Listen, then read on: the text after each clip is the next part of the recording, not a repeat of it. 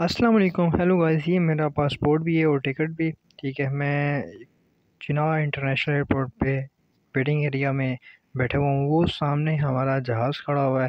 ठीक है ये मैं वेटिंग एरिया में हूँ।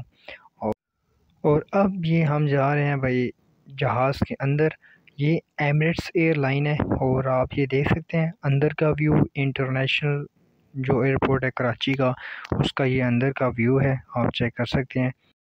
मैंने सोचा कि चलो आपको अंदर जहाज़ के अंदर का भी थोड़ा सा व्यू दिखाया जाए। और एट लास्ट हम दुबई इंटरनेशनल एयरपोर्ट पर पहुँच चुके हैं और ये मेरी जान, मेरा भाई, मेरा जिगर राजा अमानुल्ला साहब हमें वेलकम करने के लिए ये गैलरी में खड़े हुए थे जहाज़ के बाहर। तो बहुत खुशी हुई इनसे मिल के और ये है दुबई का इंटरनेशनल एयरपोर्ट ये टर्मिनल थ्री है और हमारे सुपरवाइज़र साहब भी कंपनी पे खड़े हुए हैं और और भी लड़के बहुत से खड़े हुए हैं वेट कर रहे हैं और जब वो इकट्ठे होंगे तो फिर इधर से हम निकलेंगे। और ये हम वेटिंग एरिया में बैठे हुए हैं एयरपोर्ट के अंदर ही, दुबई का एयरपोर्ट है, हमारी अब कंपनी की गाड़ी आएगी तो फिर हम अब कंपनी में जाएँगे। इन आपसे मुलाकात होती है। नेक्स्ट व्लॉग में लाइक और सब्सक्राइब करना ना भूलिएगा।